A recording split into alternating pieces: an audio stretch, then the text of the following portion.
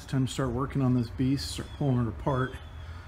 So, uh, got it all set up in the garage, got my garage all cleared out, give myself plenty of room.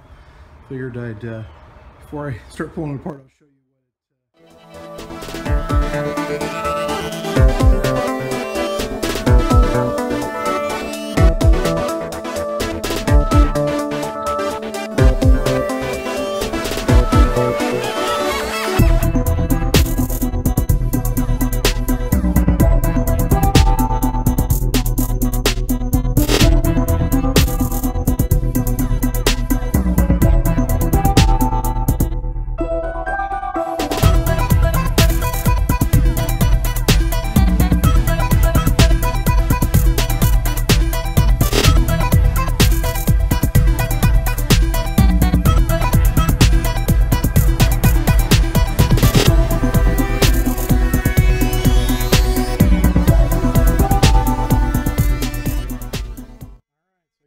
bumper fascia off. It's actually not that tough.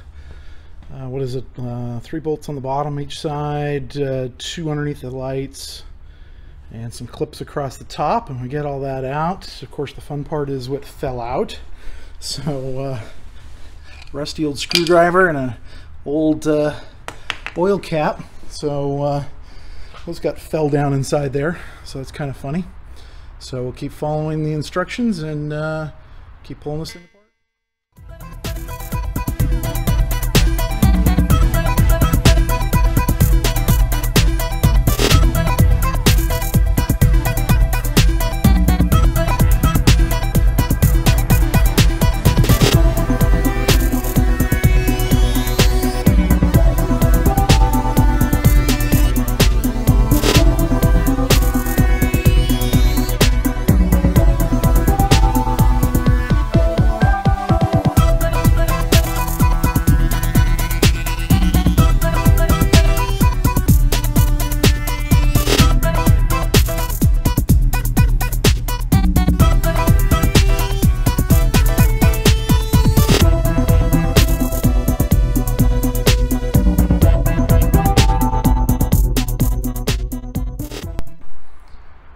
All right, so making some progress.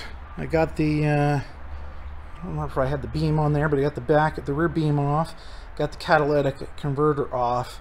I was really like I soaked the bolts with uh, PB Blaster, and uh, with my air wrench, I was able to get them off. So that was, I'm really happy about that. Those can be such a bear. So now I'm just got to um, get my muffler out. So, uh, you know, the one thing that's tough is you get the little rubber, little rubber mounts these are hard to get off, so I may just cut them off and be done with it and get some new ones. So, making some progress.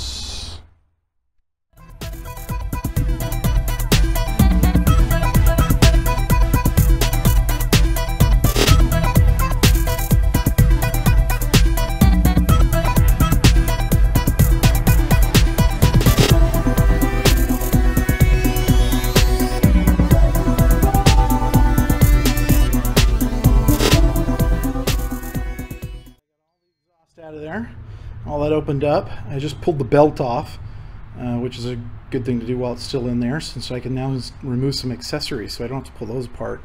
But one of the things to think about is that you got to remove the coolant and the radiator is in the front. Obviously the engine's in the back.